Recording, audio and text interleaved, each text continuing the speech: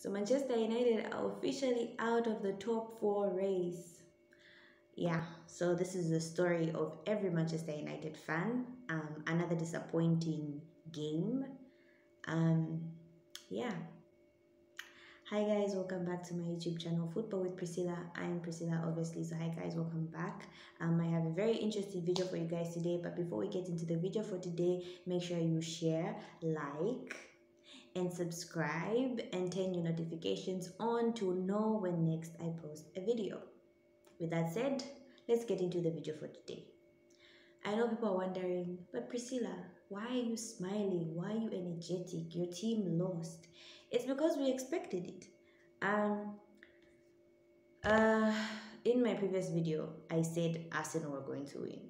And my friend today was texting me and she was like, um, there's a Manchester United game today and you're not saying anything, you're quiet. I'm like, because as a Manchester United fan, we've reached a point where we've accepted who we are, that we can be useless, and we are useless right now. So I told my friend I knew Arsenal was going to win. So there was no need for me to like rant or panic or feel bad. I was just seated there and just watching the game, like, cool. I just followed that game just to see the scoreline, to be honest. I knew Arsenal were going to win. I just didn't know by what number of goals they're going to win. But yeah, so let's get into the game today. Um, I would like to talk about Arsenal first. First of all, I'm going to give Arsenal um, props for how they played. It does not take rocket science for a person to know that Arsenal are going to take advantage of the pace of Saka, uh, Smith Rowe, and is it Keita? So it did not take rocket science to know that. Um, at Manchester United, Manchester United's back line consisted of Telles, um, what's this guy's name? Varane, Lindelof, and Dalot. Okay, I've always assumed that Dalot is fast and Telles is also fast, but Telles really struggled today to cope up with the pace of Saka. Now, the first goal, I have no idea how you leave Saka open. Saka is a fast player. How, how Telles managed to leave him open without being defended is beyond me.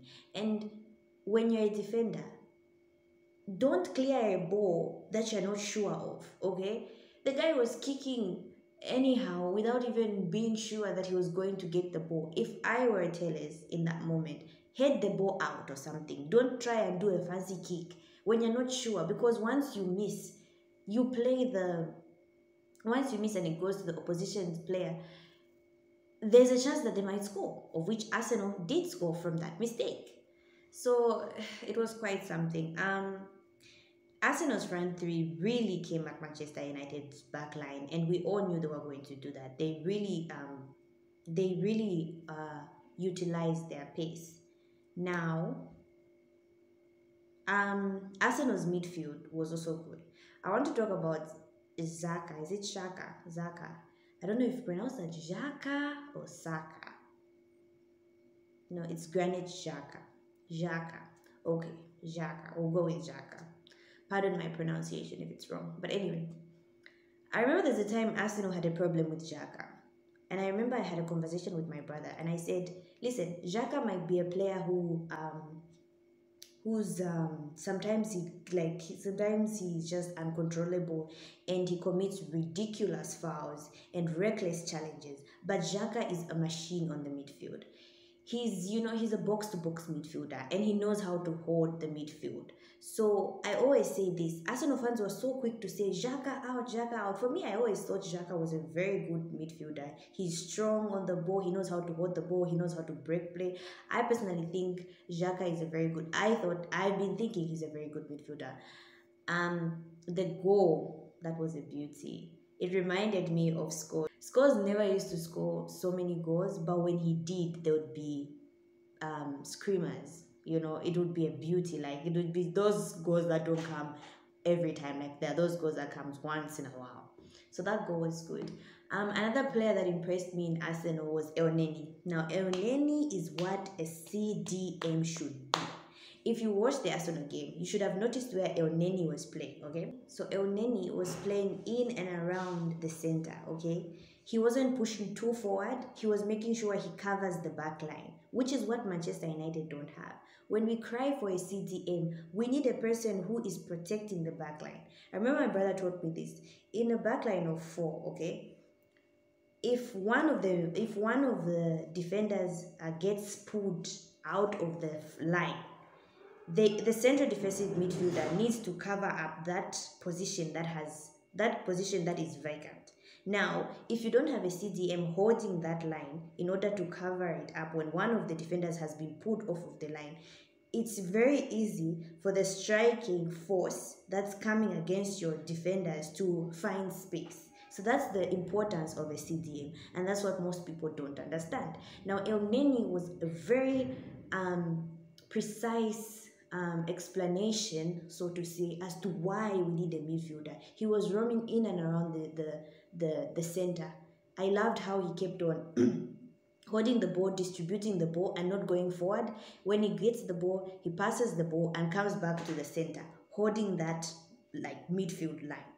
Elneny and Xhaka complement each other. Elneny isn't fast, um, and he's not so physical. Xhaka, on the other hand, is fast and physical, but he doesn't have the ball control or the ball possession that Elneny has.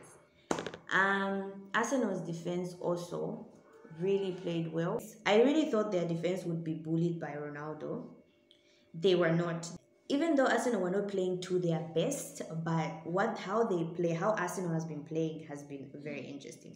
Another standout player for me in that Arsenal team is um, Odegaard.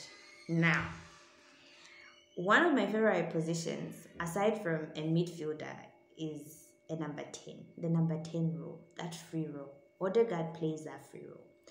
The passes that Odegaard was making today were like, they were just beautiful. Like, you know, players like Odegaard, you don't give them chance.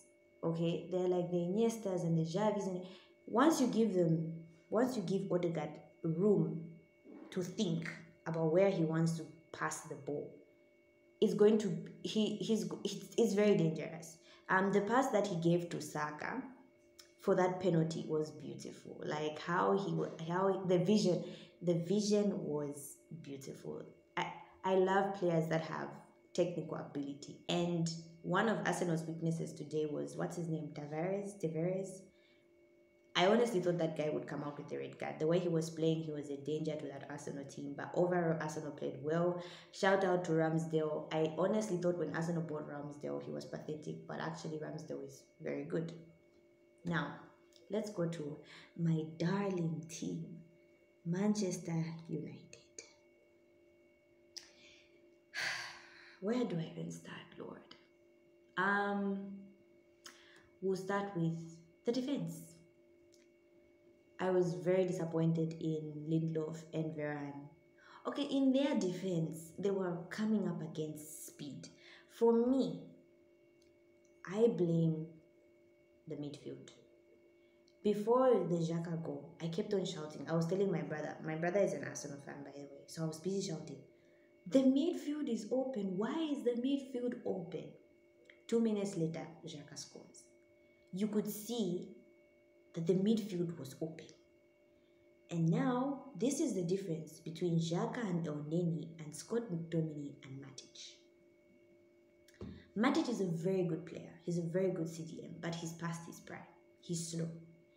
McTominay is all about reckless challenges, positional sense. McTominay, like there's no midfielder who's, I think our midfielders just, they don't know how to read danger. I don't know if they don't want to read danger or they don't know how to read danger. I don't know. But there is that with McTominay and you could see clearly see the difference between McTominay and um, Matic and Xhaka and Elneny. Xhaka and Elneny held the midfield. McTominay and Matic were being played through by the Arsenal uh, players. So, what else? Um, Bruno missed the penalty. That was sad. Uh, Manchester United, for me, I don't think every time you'd want to review Manchester United as a team, it's just the same thing. They don't play like a team. they they are so individualistic. I don't know if it's because they don't have a system, they don't have a style of play. Even under Rangnick, we still can't clearly see the style of play. Arsenal has a system; you could see it. Um, I'll give an example of Man City. Throw any useless player in Man City, he can work. I'll give an example of Gabriel Jesus. Gabriel Jesus is not a good striker. Like, if you put Gabriel Jesus in Everton, I can assure you he can only score like 10 goals in one season. But because of the system that Man City has created, Gabriel Jesus is scoring 4 goals in one game. That's what a good system, a good style of play does. It can make even those players that are not good look good. However, Manchester United has no style of play. We have no system. And because of that, we tend to expose so many players. Their weaknesses. Dalot is good going forward, but he's very poor defending. That has been the problem. Uh, Aaron Wan-Bissaka, on the other hand, is very good defending, but is poor going forward. Telles um, is not good defensively. He's very poor defensively, defensively, and he was very poor today. Um, who else played? Lindelof and Varane, like I said earlier, they were up against pace of of of Sha, Sa, Saka. What is these names? Saka, uh, Smith Rowe, and uh, Odegaard. Okay, there was that. We got to the midfield. I already talked about McTominay and Matic. Striking force. We have Ronaldo. We have what's his name? This guy Sancho, and we have Elanga. Now, Ronaldo is a good player. Ronaldo was good today, although I feel like after the 60th minute, after the Bruno, after Bruno failed his penalty, Ronaldo kind of went quiet. Sancho is good. I honestly think we need a style of play, a system. I think these players are failing to play because there is no system. Elanga is an overhyped youngster. When Elanga was coming up, everyone was like, oh my god, Elanga. I didn't see it. For me personally, speedsters. I don't rate players that rely on speed. I prefer players that rely on technical ability. Yeah. Rashford and Jesse Lingard. I'm a J Lings fan. I love Jesse Lingard, but him and Rashford, when they were substituted in, did absolutely nothing. I don't even know why we brought them on. And the sad part is we had our substitute. We've reached a point where we have to bring one Mata to be a player to change the game for us. How I have no idea. That's how bad we've we've become. One Mata. Juan Juan Mata. I want to pronounce it properly, but one Mata. Juan. Anyway, you get the point. Mata. Mata is slow and he's old. Like it's just sad. For me personally, like I've said, if Ten Hag wants to succeed at Manchester United, do what Arteta did. Sell or integrate the kids, like the academy players, the youngsters, integrate them, let them learn your system. These big, big people, sell them. Or put them on the bench, let them just be coming in to help the kids, but integrate the kids. These big people, I know these big players they're not doing what they're supposed to do. They're not running. They've won everything. They have no point to prove. But if you bring in academy players, they have a point to prove. They want to put their names on the map. So I feel for me, let's bring in the academy players. I feel I feel it's high time we bring in the academy players.